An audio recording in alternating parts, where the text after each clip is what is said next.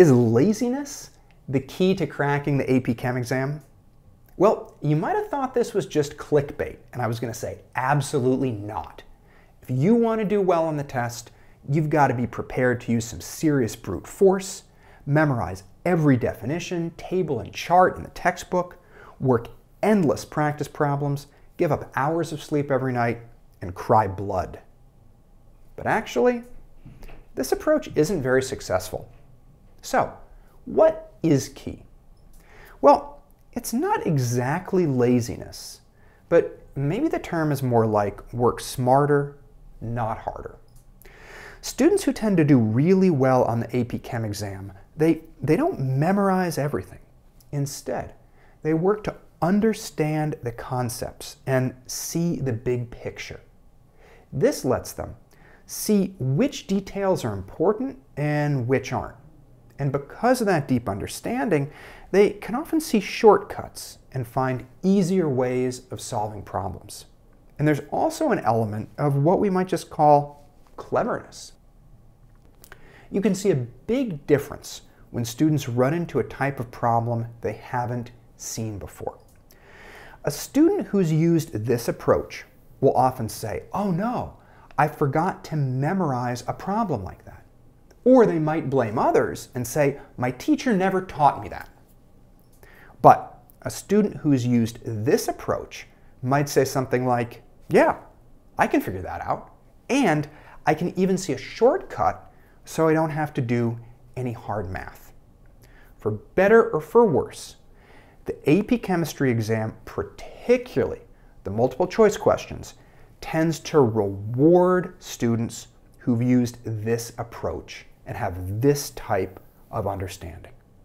And the exam tends to be written in a way that is very, very challenging for students who've taken this approach to learning.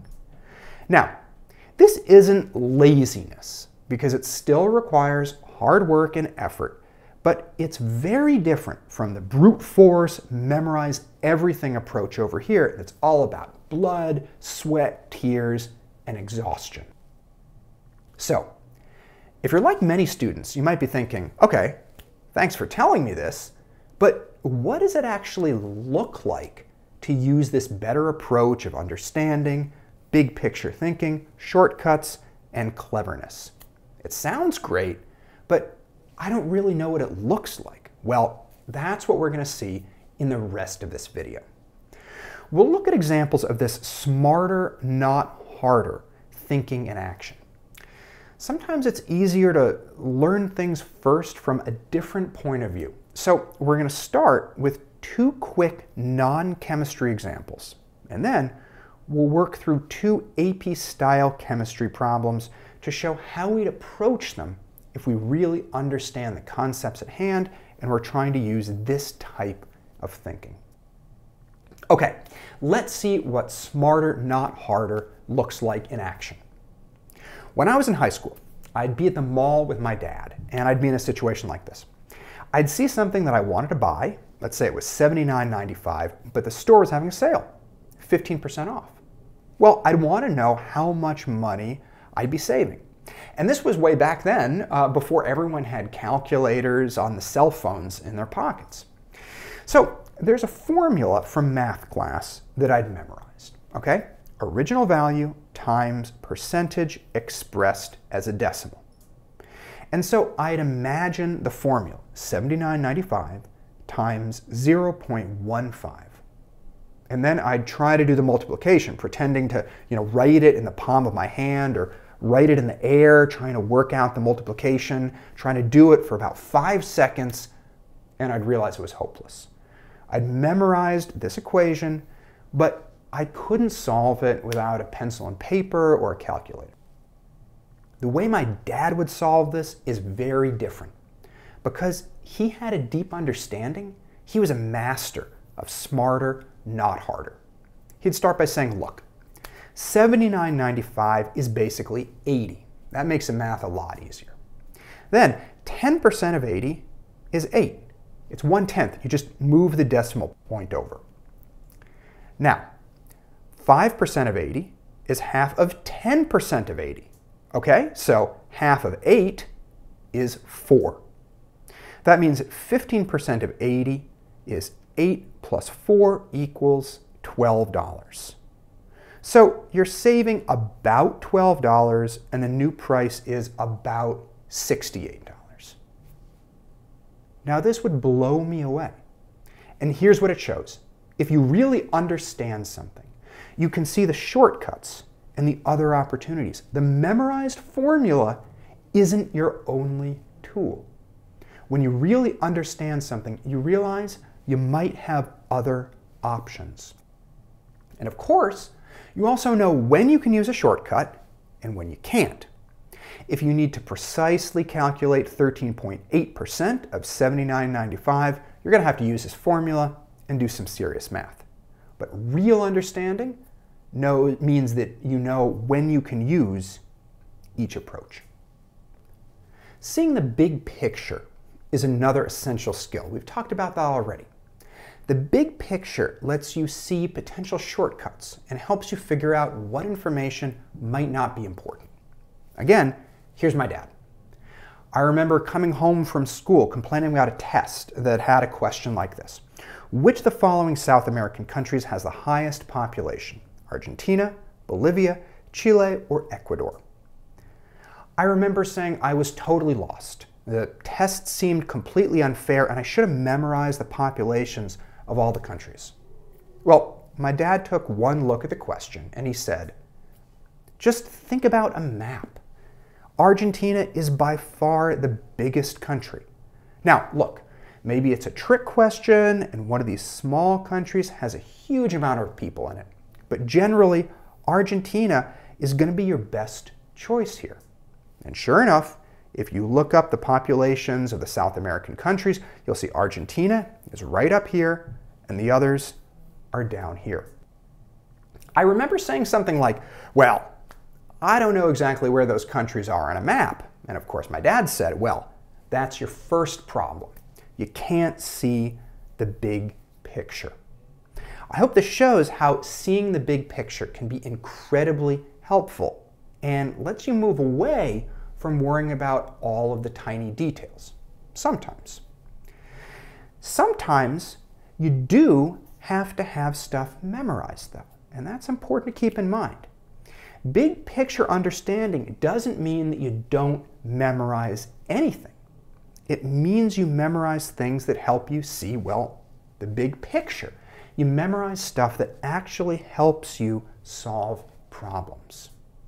Now, as we said, the AP Chemistry exam, for better or for worse, tends to encourage and reward this kind of smarter, not harder thinking. So, now that we've looked at the basics of it, let's take a look at how we'd use this type of thinking to tackle some AP-style chemistry problems. Our first example. How many liters of O2 gas at STP contain the same number of oxygen atoms as 8.00 grams of SO3 gas? And we're even given the molar mass of SO3. Many students will start trying to solve this problem by writing down a set of conversion factors like this because they've memorized that you can go from grams to moles to liters and cancel out units like this. But then they'll realize they have to work in the number of oxygen atoms and they'll have conversion factors like this and they don't know which to use and how to put them in here. The problem is many students haven't seen a question like this before uh, they don't know how to address it. And this shows why memorizing usually isn't a great strategy. Students often use conversion factors like this, but they don't understand why they're doing these steps. They don't understand what these conversion factors actually mean. So they can't use this information in other ways to find shortcuts and to build different paths. It turns out this is actually a pretty simple problem if you can think it through from a big picture view. We don't even need to use conversion factors. You could, but that's probably not the best approach here. There are five steps. We'll look at them one by one. First, we go from grams of SO3 to moles of SO3. We do that by dividing the grams by the molar mass. We're essentially dividing 8 by 80 here. So with significant figures, we've only got to worry about 3. We just get 0.1 moles of SO3. Okay, now, how many atoms of oxygen is that? Well, there are three oxygen atoms in each SO3 molecule. So we multiply this by 3. 0.1 moles of SO3 times 3 gives us 0.3 moles of oxygen atoms. Okay, now how many moles of O2 molecules would have that number of oxygen atoms? Well, each molecule of O2 has two oxygen atoms. So we need to take this number and divide by 2. 0.15 moles of O2 would have 0.3 moles of oxygen atoms. Okay, so we have this number of moles of O2, and finally, how many liters would that number of moles take up at STP? We can take this and multiply it by 22.4, which is the number of liters that one mole of gas takes up at STP. You can use a calculator for this and you'd get 3.36 liters. But you don't even need to use a calculator here. We're multiplying 22.4 by 0.15. 0.1 mole would take up one tenth of this amount, which is 2.24. Just move the decimal point over one space. And then 0.05 moles is just half of this, which is 1.12. Add these together, and you get 3.36. Choice C. So, as you can see, if you can think through the problem and see the big picture, you can do it in about 30 seconds, maybe even less. We don't need to use conversion factors, but we have to be able to explain what we're doing at each step and know why we're doing it. And as you can see from the stuff in red, there are some things that you do need to memorize, but you need to understand again why you'd be using them and how you'd be using them. If you really want to succeed on the AP Chem exam, this is the type of thinking that you need to master. Here's our second chemistry question. The equation for the ionization of formic acid is given below. Which of the following represents the most likely equilibrium concentrations for the species involved? Now honestly, when many students see this type of question, they just freeze up. They don't even know where to begin. There's a certain type of calculation associated with acid and equilibrium, and when students see these terms, many will start trying to set up these steps they've memorized and they'll try to see how they can squeeze this problem into this format or use some of these pieces to try to solve the problem.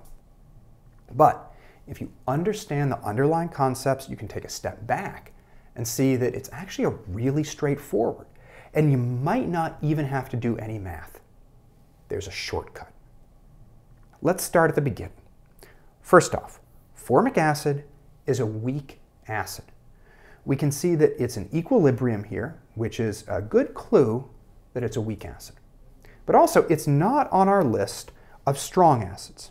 As we said before, sometimes you do have to memorize stuff, and this list of strong acids is a really good thing to have memorized. But again, you want to make sure that when you're memorizing things, you understand when to use them, how to use them, how they will be helpful. So, it's important that formic acid is a weak acid because weak acids only partially ionize. Most of the acid remains unionized. In other words, at equilibrium, lots of this acid remains and not much of these, the hydronium and the formate ion, have been made. We can express the balance between the concentration of this and the concentrations of these by using the Ka. For a weak acid, the Ka is very small. And that's because your unionized acid is in the denominator and you have a lot of this remaining at equilibrium, so it's a large number. And you don't have much of these, So you've got these small numbers in the numerator. Divide some small numbers by a large number, and you get a really small number. How small? Usually significantly less than 1. Weak acids tend to have Kas on the order of uh, 10 to the negative 5th, 10 to the negative 4th, 10 to the negative 10th. No, it doesn't make sense for you to memorize this list, but you should know that Kas for weak acids are small, really small. Putting together everything we said, we know that uh, these numbers should be small and this should be large. And if you look at the answer choices, there's only one that fits. Here, large value for this, two small values for this. You don't even have to do the math. D is the only possible choice. Now, if you're a very careful person like me, you might be a little bit worried about choice C. It's not big and small, but the numbers are pretty close in value. Eh, is that maybe a good choice too?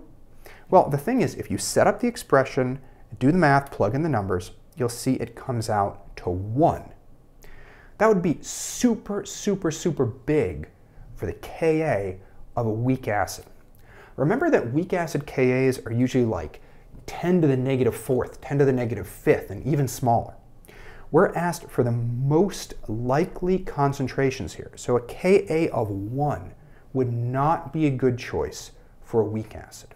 Thus, we can be very confident with choice D. Again, we didn't even have to do the math. So, I hope you've gotten a good introduction to the sort of big picture thinking. And you can start seeing how you might be able to use it on the AP Chem exam. Also remember, it's not laziness.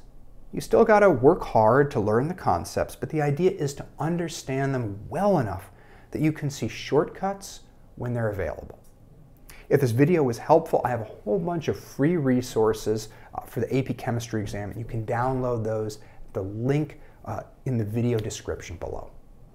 Best of luck in AP Chem.